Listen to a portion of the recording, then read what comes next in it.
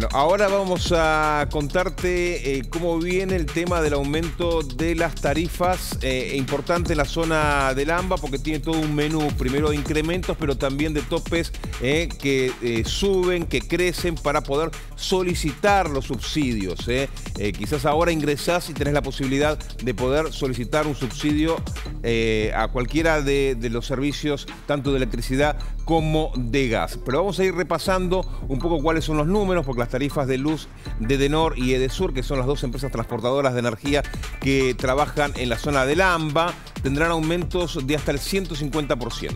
Y los usuarios van a sufrir actualizaciones mensuales desde abril, según el nuevo cuadro tarifario difundido por la Secretaría de Energía que conduce Eduardo Rodríguez Chirilo.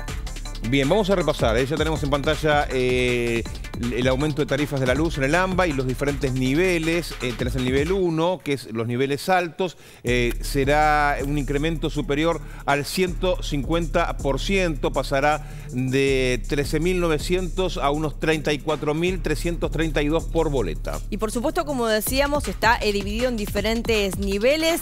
bueno, niveles bajos, un 70% promedio va a pasar de 4.350 a 7.415. Bueno, a ver, niveles medios que es lo que se conoce como N3 dentro de la boleta, tendrá un 65% promedio de aumento y pasará de, una boleta mensual o bimestral de 4.783 pesos a 7.850, pero atención porque vamos con este número, porque es importante la posibilidad de que accedas a los subsidios, eh, que los mantengas o que ingreses a partir de ahora. Veamos cuál es el tope de ingreso eh, por domicilio para que puedas ir y solicitar un subsidio a la luz o al gas. El ingreso eh, eh, alto N1 tiene que ser superior eh, a los 2.089 con, bueno, casi 2 millones 100 mil pesos de ingresos. Si vos tenés en tu familia un ingreso eh, menor puedes acceder al subsidio. Mira, los ingresos medios también entre 596 mil, entre algo más de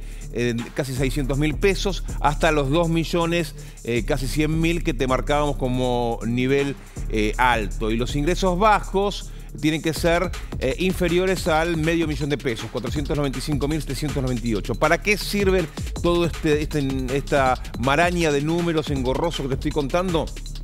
Para poder solicitar los subsidios, ¿eh? Eh, que es importantísimo, para que no tengas que pagar una tarifa plana eh, ya sea de la luz como del gas, que es mucho más alta. Sí, por supuesto. Bueno, es, importante ¿no? que ante toda esta escalada de aumentos haya un salario, como decimos siempre, que lo pueda acompañar, por supuesto, para poder paliarnos la situación. Bueno, a ver, la palabra de los usuarios. El gobierno anunció que va a aumentar 60% de la luz este mes y que así va a ir con aumentos palatinos.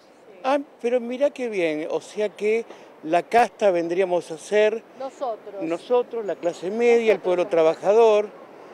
Este, me parece que se invirtieron los, términos. ¿Se enteraron que va a aumentar la luz este mes? Sí, sí, sí.